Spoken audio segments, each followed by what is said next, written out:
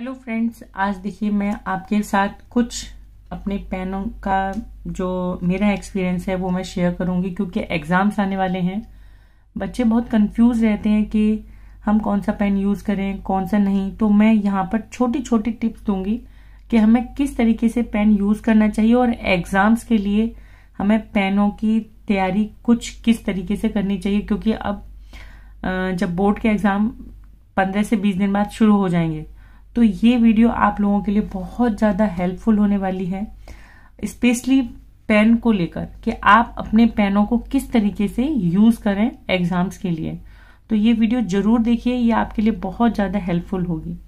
तो देखिए, यहाँ पर मैं कुछ पेनों का रिव्यू करूँगी और कुछ पेनों का अपने साथ जो एक्सपीरियंस होगा वो भी शेयर करूँगी और जो मेरे स्टूडेंट्स हैं, उन लोगों ने भी जो मेरे साथ बताया है, मेरे साथ शेयर किया है कि ये मैम अच्छा है तो उन सबको मिलाकर ये मैंने पूरा एक रिव्यू तैयार किया है, जो कि मैं आपके साथ अपना एक्सपीरियंस और सब कुछ मिला के ये जो है सब कुछ मैं आपको थोड़ा सा शेयर करूँगी कि क्या है, क्या नहीं है।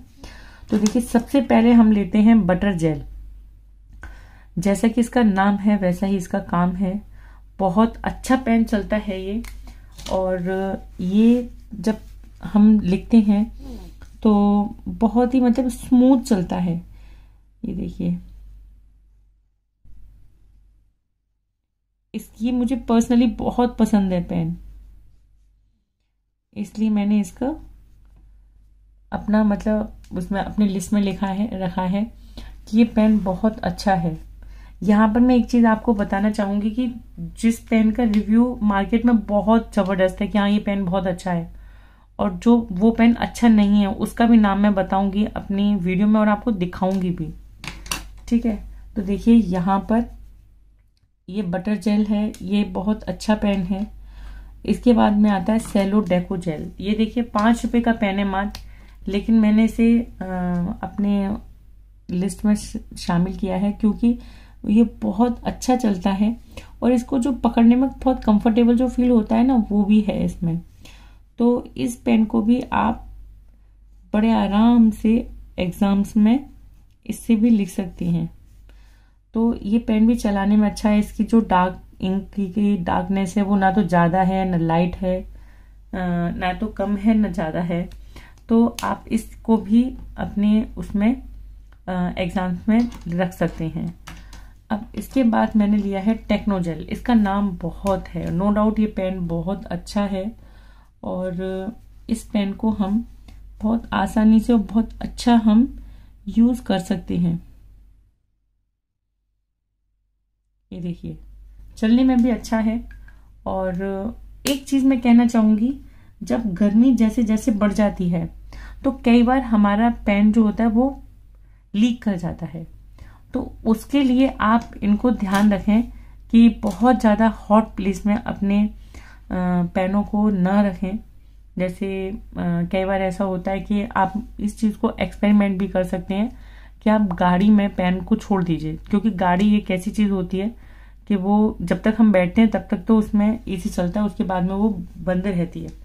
तो वहाँ पर आप देखिएगा इस चीज़ को कि वो पेन कंपेरेटिव और पेनों की जो नॉर्मल प्लेस पे रखा होगा, वो जल्दी लीक कर जाता है। तो मेन चीज़ क्या होती है, जहाँ पर हॉट प्लेस ज़्यादा होता है, जहाँ पे गर्मी ज़्यादा होती है तो वहाँ पे कई बार अच्छे अच्छे पेन भी लीक कर जाते हैं। तो ऐसा नहीं है कि फिर वो पेन अच्छे नहीं है।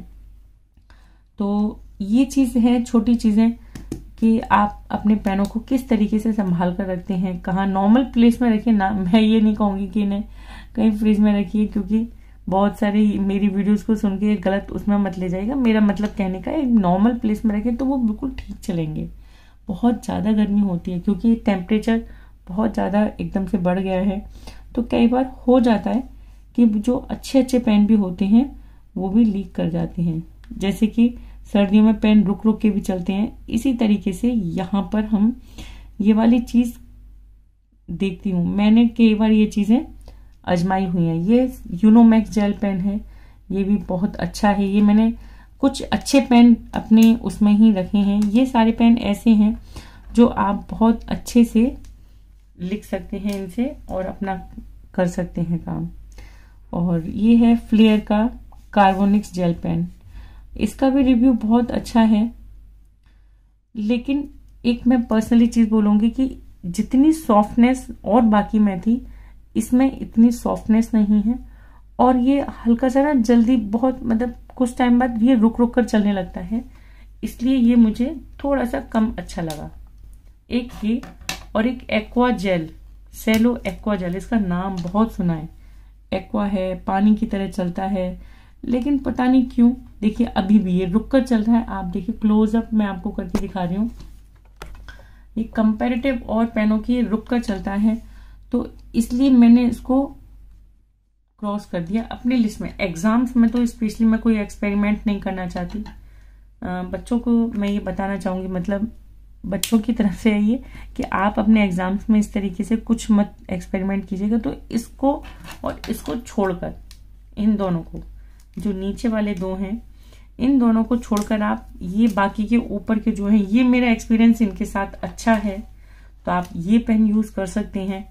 और एक चीज़ और मैं बोलना चाहूँगी कि एग्ज़ाम्स में जाने के लिए, ये मेरी वीडियो का ये लास्ट टिप है, आप इसको ध्यान से सुनिए।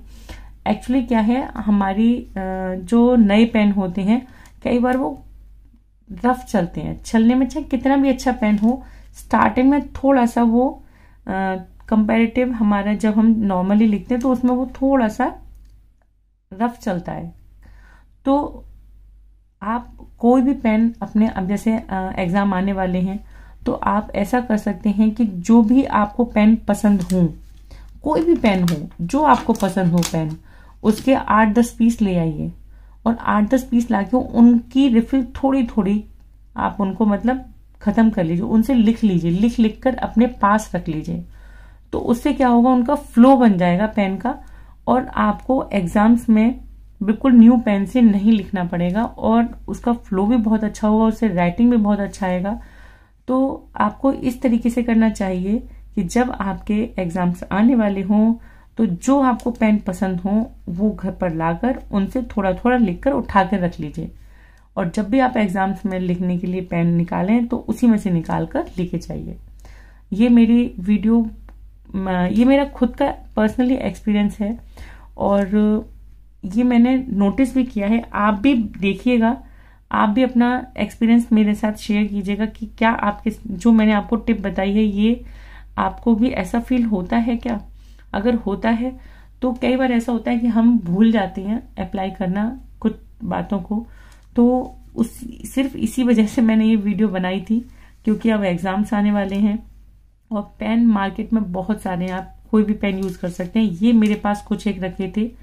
तो मैंने इसलिए बताया आपको कि कोई भी आप अगर पेन यूज़ करते हैं तो उनको आप थोड़ा सा लिख कर रख लीजिए और जब वो थोड़ा सा फ्लो में जब वो कहते हैं ना कि थोड़ा सा घिस जाता है, जब पेन थोड़ा सा हम लिख लेते हैं उससे तो वो अच्छा चलने लगता है। तो वही सेम चीज़ होती है। और आपको मेरा ये टिप्स कैसा लगा आप बताइएगा ज़रूर कमेंट करके। कि आपको मेरा ये टिप अच्छा लगा या नहीं लगा, आपको इनमें से कौन सा पेन अच्छा लगता है, आप कौन सा यूज़ करते हैं, और ये दोनों पेन क्या आपने यूज़ किए हैं? क्या ये वाला एक्सपीरियंस आपके साथ मेरे जैसा ही है या अलग है कुछ? कमेंट सेक्शन में ज़रूर बताइएगा। मिलते हैं हम अपनी नेक्स्ट वीडियो में, तब तक के लिए टेक केयर गुड बाय